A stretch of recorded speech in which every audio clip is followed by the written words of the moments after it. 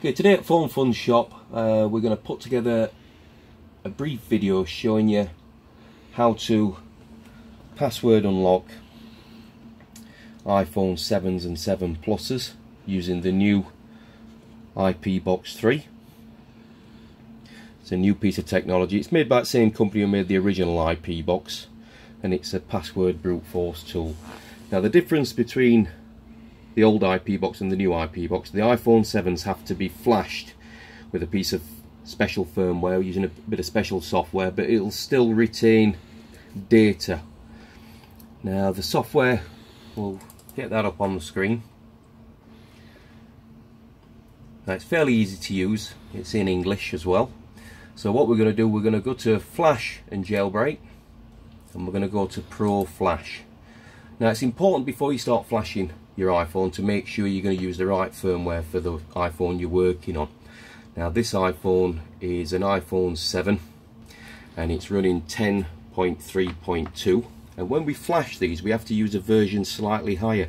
And you can also downgrade. So if it was 10.3.3 we could flash it with 10.3.2 but for this instance we've got 10.3.3 sorry we've got a 10.3.2 iPhone and we're going to flash it with 10.3.3 firmware now when you're picking your firmwares it's important to use the right one too. So get the A number on the back of your iPhone and make sure you use the correct type of iOS firmware for that particular iPhone. Okay, we'll explain that a bit more in a moment. So first thing we've got to do with this software is import a firmware that we're going to use. Now I've got my firmwares organised nice and tidy so we'll go in iPhone 7 and my iPhone that I'm working with is an A1778, also known as an iPhone 9.3. Now we're running 10.3.2 on the iPhone, so we're going to flash it with a version higher. We're going to go for 10.3.3. So we'll load that firmware in. This is the important part. You've got to tick this box to retain the user's data. That's very important before you do this work.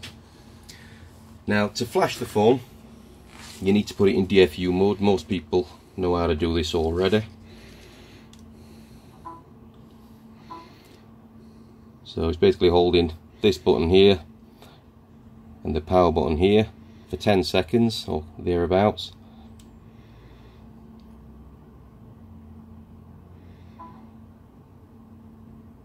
And then let go of the power and keep hold of the volume down it's alright it's failed I'll do it again I never seem to get this right first time. Let's try it one more time.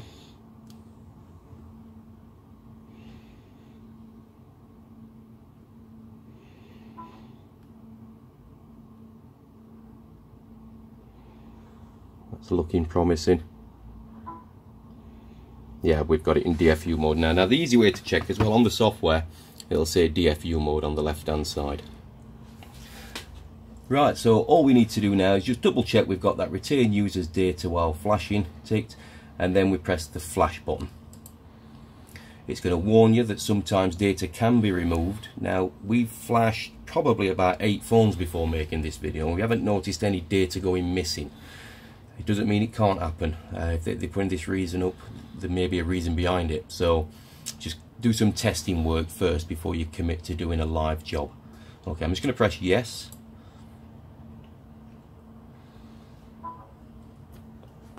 Now it started flashing it. Now that's going to take about 10 minutes.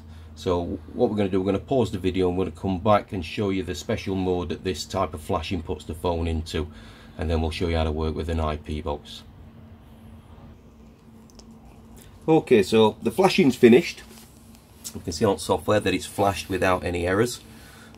And you'll notice now that the iPhone's gone into a very strange mode. So white screen saying press home to recover. It's important that you don't press home because that will put you back to square one. You'll have to flash it again. So disconnect your cable. And then it's time to start using your IP box. Now, what we'll do first, we'll connect it up to the PC and just show you the software side of things quickly. Uh, like I said, we've only had uh, our IP boxes about a week, so we haven't had much time to really play very much, so you might get some better methods than what we have. I'm going to close the flashing software as it's no longer needed for now.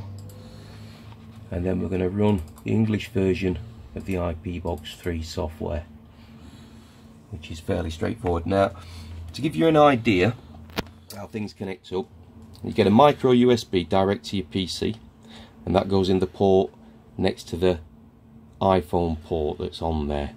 Don't plug it in to this port okay? Use this one. What that'll do that'll power the the box up. And you've just heard it pinging on the USB as well so the software picks it up. Now so you've got an idea what this panel means. I'll put them together and you've got three panels and the top panel is to program the settings for this one middle for the blue one and the bottom one for the pinky looking one. Okay. And you've also got three ports on your iPhone on your IP box 3 so you can brute force three phones simultaneously using different code methods that you might want to program up on this panel differently.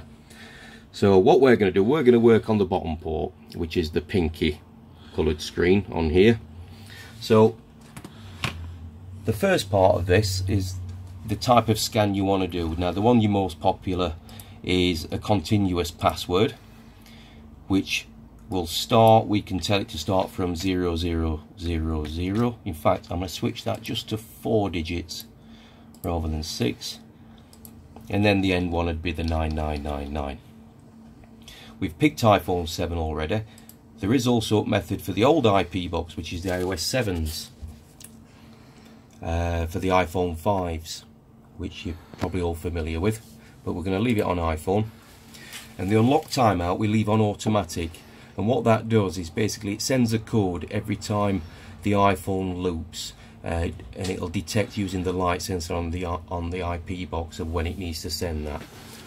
And what we'll do in the end, we'll just write the settings to the box and that's been written now.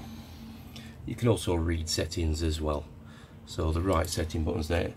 Just while we're on the software you have got some tools on here where you can generate faster passcodes as well. You can import old ones that you may have used on IP box 1 and then there's a firmware upgrade tab as well which you can upgrade to the latest version. This one's already upgraded. As we're already on here Okay, so we programmed that IP box and we're going to use that bottom port and we can close that software now, that's no longer needed.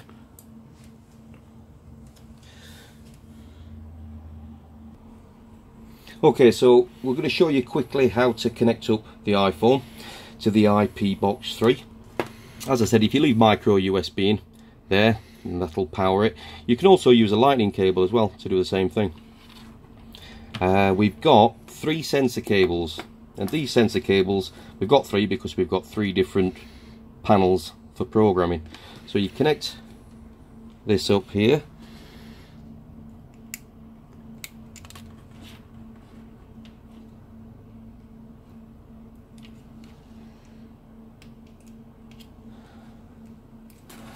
Now you'll notice on the end of these sensors you've got a blue one, a green one and a red one. And similar to your panels, you've got a green panel, a blue panel, although it's a pink panel. We're going to be using the bottom one to do our work, so we're going to use the red sensor to match. You'd normally fasten this sensor down using some tape to kill out ambient light. Some electrical tape's good. But just for this demo, I'm just going to use a little bit of blue tack just to keep it in place. And you'd have it at the top of the screen there.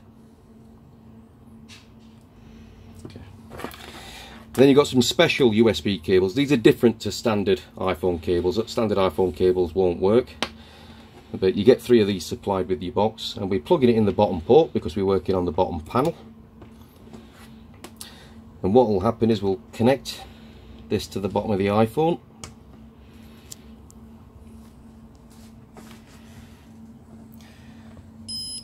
It's detected it and you'll notice it starts flashing. And what we're going to do we're going to press this button at the side of our panel our pink panel to commence the brute force. And what it will do it takes time it'll send a code and then it'll try to recover data in the iPhone. And once that's completed then it'll send the next code. And the code it's going to